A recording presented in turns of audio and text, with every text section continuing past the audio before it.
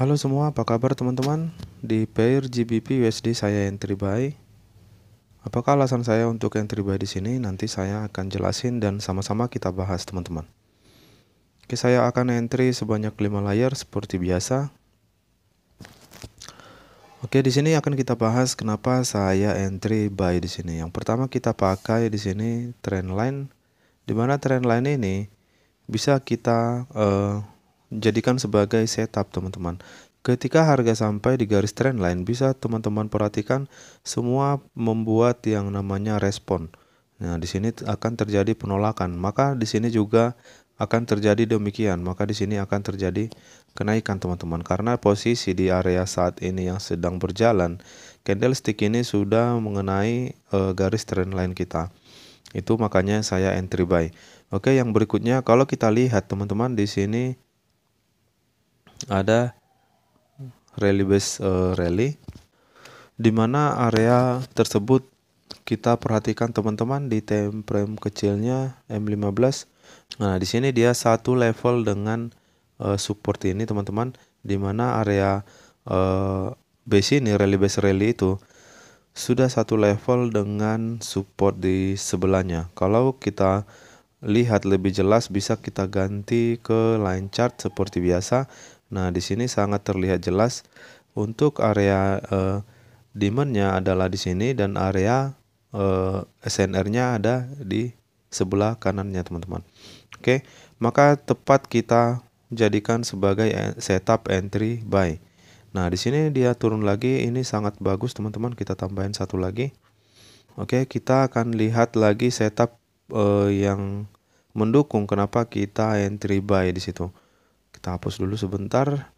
Kita sekarang masuk ke time frame daily. Di sini time frame daily ini kita lihat untuk uh, beberapa candlestick ini tidak sanggup menembus uh, satu candle bullish ini teman-teman. Di sini sangat terlihat jelas satu dua tiga tiga uh, candle ini tidak berhasil closing di bawah daripada candlestick bullish di sebelahnya teman-teman. Oke, maka itu dipastikan harga ini akan berbalik. Nah, yang berikutnya kita boleh pasang uh, indikator AO, indikator yang biasa kita gunakan. Di sini kita lihat teman-teman di AO ini membuat kenaikan sedangkan di trend membuat penurunan.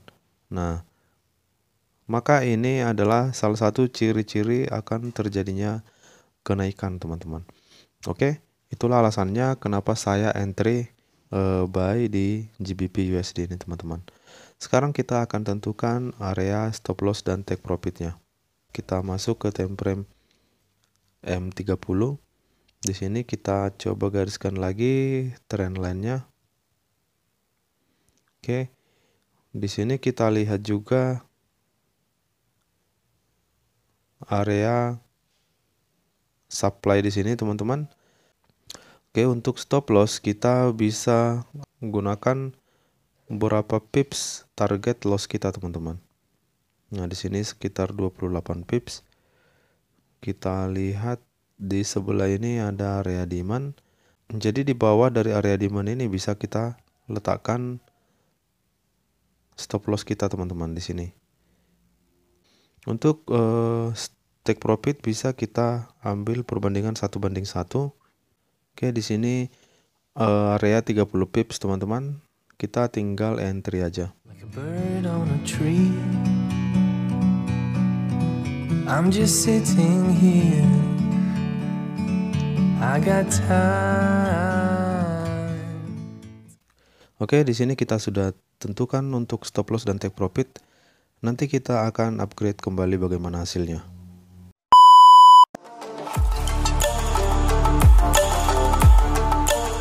Oke, di sini kita lihat hasilnya sudah naik beberapa pips. Kita coba lihat marketnya.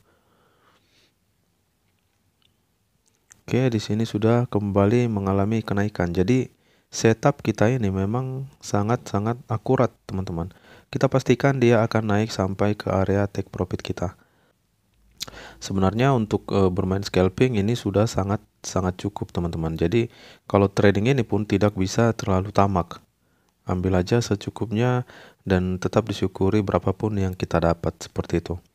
Oke, di sini kita lakukan uh, take profit untuk tiga layer dan tiga layer lagi kita akan tetap hold teman-teman. Jadi di sini teman-teman akan memahami kenapa kita entry uh, misalnya 5 sampai ke 10 layer setiap uh, trading karena kalau dia satu layer itu sangat kesulitan kita untuk mengambil take profit. Nah, di sini akan teman-teman pahami, kita akan tutup dan take profit tiga layer. Kita akan hold tiga layer lagi teman-teman untuk mengambil uh, take profit yang lebih banyak. Jadi di sini kita kan sudah dapat nih. Nah, di sini kita sudah dapat 22 dolar. Kita sudah take profit 22 dolar, tapi kita masih ada open posisi sebanyak tiga layar lagi. Jadi kalau ini kita hold, masih ada kemungkinan besar kita mendapatkan profit yang lebih tinggi. Nah, ketika satu layar doang, teman-teman, ini sangat kesulitan untuk kita take profit, teman-teman. Ketika kita close satu, ya udah, kita tidak bisa lagi ya uh, mempunyai kesempatan untuk mengambil uh, kenaikan atau untuk keuntungan yang lebih besar. Nah, di sini kalau sudah seperti ini jangan lupa stop loss ini kita wajib naikkan di sini. Nah, jadi ketika nanti dia loss, ini hanya loss sedikit. Nah, di sini hanya 14 pips.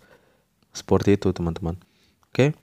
Kita akan uh, kurangin untuk uh, target loss kita. Oke, kita sudah naikkan untuk area stop loss kita. Jadi ketika pun nanti dia turun, kita tidak begitu rugi, teman-teman. Nah, sebenarnya pun bisa kita uh, pakai di sini atau kita gunakan stop loss profit teman-teman. Kita ambil aja di sini misalnya.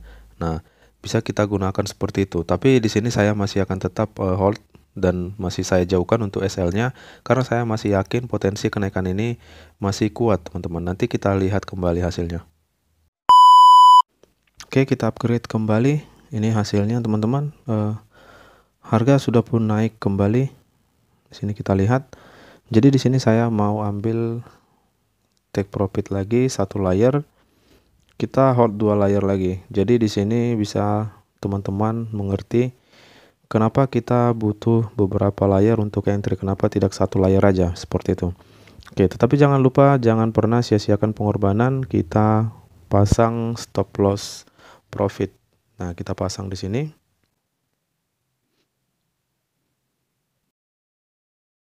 sudah kita tetapkan stop loss profit karena kita sudah setting di sini sebagai stop loss profit maka TP kita juga bisa kita naikkan teman-teman. Kita naikkan sampai ke resisten ini untuk mendapatkan uh, profit yang lebih banyak teman-teman. Kita langsung aja entry. Oke kita sudah naikkan take profit dan sudah naikkan juga stop loss. Kalaupun nanti dia turun dan mengambil uh, stop loss kita kita masih tetap profit. Jadi tidak ada masalah teman-teman. Oke sampai di sini dulu. Nanti kita cek kembali. Di sini kita lihat harga sudah naik sampai sejauh ini. Tetapi karena ada resisten di sebelah kiri itu maka dia kembali reject dan uh, area resisten ini belum tembus teman-teman. Maka di sini saya akan ambil satu order Oke, saya akan sisakan di sini satu order lagi. Jadi di sini kita sudah dapat sebanyak 44,15 dolar. Sebenarnya untuk scalping pun kita sudah bisa close ini semua teman-teman. Jangan terlalu tamak. Tetapi di sini tidak masalah karena pun kalau ini pun turun tidak jadi masalah kita tetap profit karena kita sudah setting stop loss profit. Oke, nanti kita akan upgrade kembali hasilnya. Nah, di sini kita lihat Trendline ini akhirnya berhasil di breakout teman-teman. Candle yang saat ini sedang berjalan berhasil break area trendline kita dan stop loss kita pun sudah terkena stop loss profit. Nah, di sini kita lihat kita pakai stop loss profit hasilnya 2 dolar, 15 teman-teman. Jadi untuk keuntungan kita di scalping ini sebanyak 46,30. Oke. Okay? Tidak masalah itulah gunanya kita pakai uh, stop loss profit dan itulah uh, bertrading ini teman-teman berapapun yang kita dapatkan tetap uh, disyukuri dan dengan harapan hari esok semoga rezeki kita semakin bertambah lagi teman-teman. Kalau untuk penurunan ini ini belum pasti akan sampai ke bawah teman-teman. Di sini kita sama-sama lihat ini area demand ini masih fresh. Kita lihat di sini langsung ada uh, respon ada penolakan ya. Jadi uh, belum tentu akan di break. Namun e, karena kita pakai stop loss profit jadinya terkena stop loss. Namun tidak masalah teman-teman, yang penting kita masih tetap profit di sini. Nah, di sini kan kita lihat harga kembali naik lagi. Setelah terkena stop loss kita, teman-teman. Oke, namun tidak masalah yang namanya trading ya seperti itulah. Jadi sampai di sini dulu untuk scalping kita dengan setup yang sangat simpel ini, di mana kita menggunakan trend line dan SND untuk melakukan entry dan inilah hasilnya teman-teman. Semoga menambah wawasan buat kita semua. Terima kasih buat dukungan-dukungan teman-teman. Salam profit dari saya.